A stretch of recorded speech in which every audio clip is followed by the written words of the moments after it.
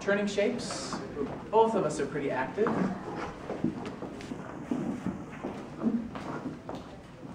So our original shape, follower is going to turn to the left. Leader's coming around her with his backside and the front cross. In her forward step, which would actually be part of a step to the, uh, a turn to the right, she's coming forward on her right foot. I'm going to lead an alteration, which means we go back into the turn to the left. Our alternative from that alteration to sneak around and change your direction. Which is a rather unexpected alternative.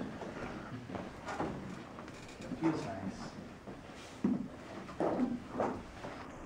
Nice surprise. The thing that, that is more important to me as a teacher about this movement isn't so much the order of steps, um, but as an example movement of, how we can share the work in the turn.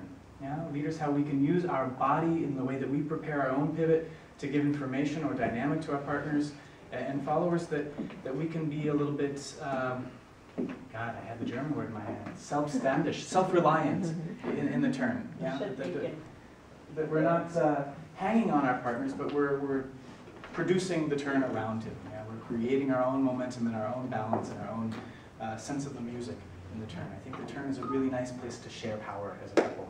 Um, so that's the idea for, for today. I hope you enjoy it. If you have questions, please ask. It is a practica, and I'm, I'm happy to answer questions. There are lots of other experienced dancers around who I think would, would be happy to share their opinions about these things.